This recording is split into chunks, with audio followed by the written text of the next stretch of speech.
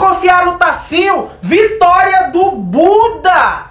Nesse vídeo eu vou narrar toda a luta incrível de Buda vs Rajun nesse capítulo duplo, que se você não leu, eu deixei o link aí na descrição, e também falar de por que a Volund usada por Buda possa ser a Volund mais forte até agora. Então fica nesse vídeo até o final e comemora junto comigo o acerto, a vitória 100% crédula desde o começo. Quem viu aqui no canal viu que não importa o que o Rajun fazia com o Buda, eu dizia, Buda vai ganhar, confia na na mitologia. Buda vai ganhar, alcançar a iluminação. Buda vai ganhar, na mitologia. Tem que confiar no Tassinho. E aquelas pessoas que dizem, ah, Tassinho usa muito mitologia de referência para poder prever essas coisas e tal. Ele acha, ele leva to, to, toda lenda a sério é levando a mitologia a sério para entender a referência que o autor possa estar trabalhando. Assim você acerta o resultado.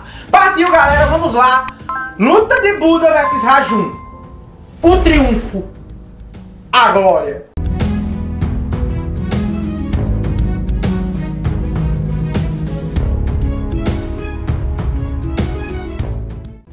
Começa da luta, galera, o Buda mesmo empalado, apanhando, ele continua a sorrir. Sorri sempre e impõe medo em Rajun.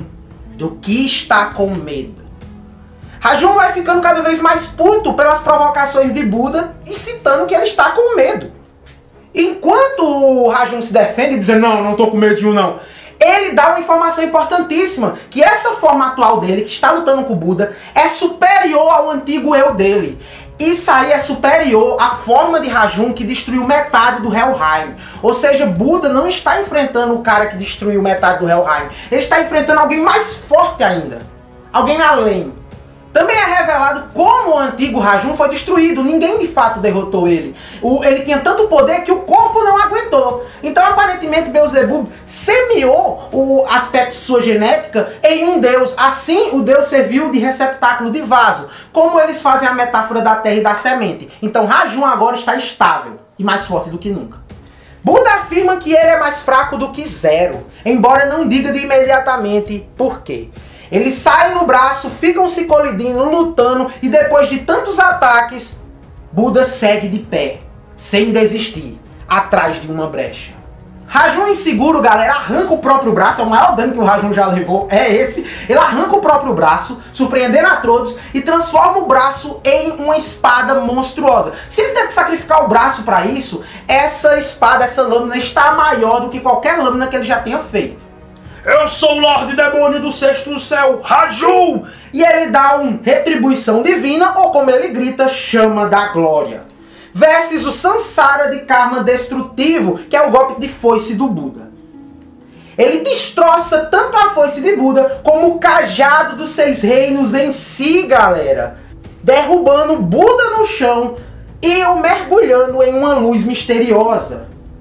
Buda é jogado para longe, cajado dos seis reinos destruído, cai no chão, deveria ser a derrota, mas não. Ele cai é, é, é, em seus fraquejares, em descendo ao último abismo, ele consegue ver a luz que faz o decolar ao topo.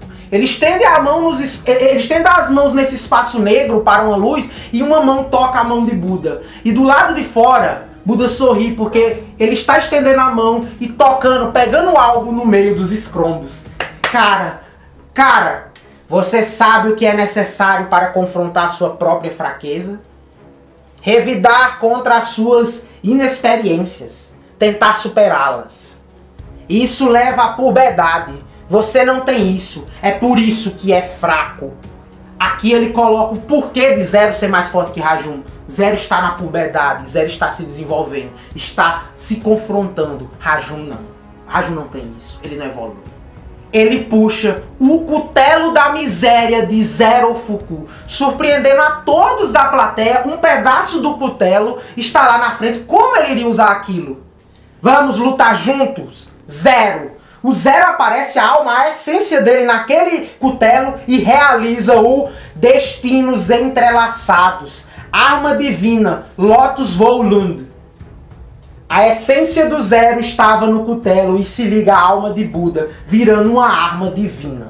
A arma divina suprema, só aquele que alcançou o Nirvana pode criar. Espada do grande Nirvana Zero. Explicando aqui como surgiu esse entrelaçar de almas, o, a, junção de destinos, o entrelaçado de destinos chamados Volund, não é subordinado apenas às Valkyrias. Isso pode ser realizado. E olha só, quando o Rajun se transformou no corpo do Zerofuku, um pedaço do corpo do Zerofuku é o cutelo. Então o cutelo tem a carne, tem a essência, tem a vitalidade do antigo Zerofuku.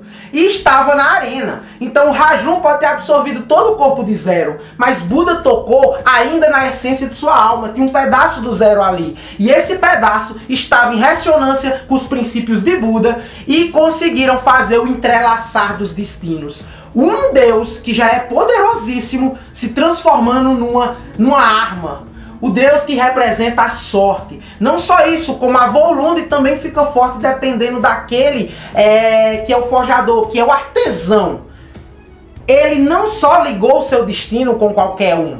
Além de ser um Deus, ele ligou o seu destino a Buda, o iluminado que é extremamente poderoso e muito acima de vários deuses dessa competição. Sendo assim, sim, acima da Valkyria e do humano, essa junção é a volume mais forte do mangá. Uma espada serrilhada é, com várias lâminas paralelas e com sete esferas que aparentemente são as siglas dos sete pecados capitais ou das sete sortes. Eu não me atentei à, à tradução, mas eu sei que agora o Buda tá brabo. Isso é muito superior do que o cajado dos seis reinos. A espada espada brilha, tem sete orbes e carrega a essência dos sete deuses da sorte.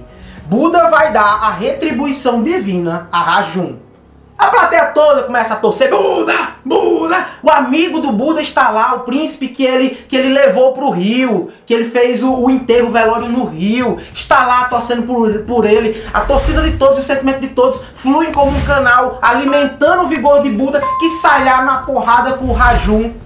Buda segue levando dano, mas dessa vez está de forma igualitária a Rajun, que também leva pressão.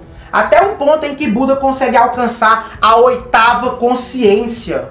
Ele recupera sua oitava consciência, por quê? Porque de tanto implantar o medo em Rajun, Rajun se convenceu. Ele pegou a partícula do sentimento medo para si. E esses sentimentos são elementos que compõem a alma. Então, pelo medo do Rajun, ele tem requisitos de alma. E o Buda consegue ver o movimento da alma se esquivando de todos os seus golpes, até o momento épico do derradeiro golpe final. E, no último, e na última esquiva, Dá a impressão que Buda é cortado ao meio, mas é uma miragem, é uma ilusão contra aquele que representa a ilusão. Ele no fluxo, mesmo surpreendendo todos, ele se de, declina para trás de Rajun. Com a espada sagrada, vai o momento do golpe final, galera. Buda respira e dá o golpe final. Um golpe embasado no Sutta Nipata, o capítulo 1 uma fala que fala sobre encontrar um amigo para repousar a alma e os dois seguirem é, felizes ao Nirvana. O nome do golpe final de Buda é Lâmina do Despertar do Olho Celestial, Mahapari Nirvana. E ele corta o Rajum em pedaços. O mesmo tenta revidar depois, mas vira pó diante do iluminado. Buda é o vencedor. Com um lindo, exímio golpe matando o Titã, o demônio do sexto, Lorde Demônio do sexto céu. E na morte, na pulverização do Rajum, ele contempla o Zerofuku e os sete deuses da sorte indo para o paraíso. Eles vagando. Buda chora, mas Zero olha para ele e dá um sorrisão farto, com as maçãs do rosto fartas, alegre. A, a pura alegria Zerofuku alcançou novamente. Zero alcançou a paz, a alegria.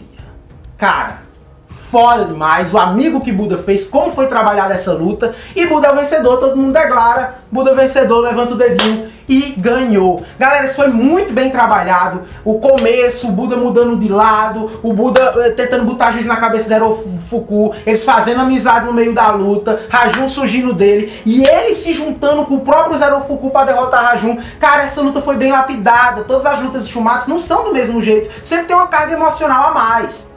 O tempo da partida aqui foi 21 minutos e 37 segundos. O golpe final foi Mahapari Nirvana. E essa, se eu não me engano, é de certeza a luta mais longa até agora no Ragnarok.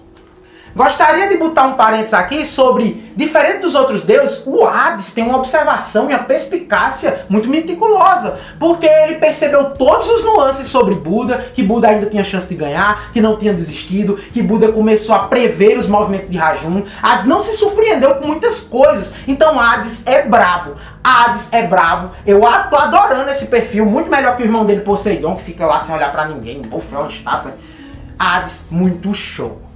E aí galera, qual será a próxima luta do Ragnarok? Eu lancei um vídeo casando todas as possíveis lutas e está bem da hora, eu dou argumentos de por que quem enfrenta quem, geral tá gostando, cola lá se ainda não viu e participa daquele vídeo, eu leio todos os comentários, beleza?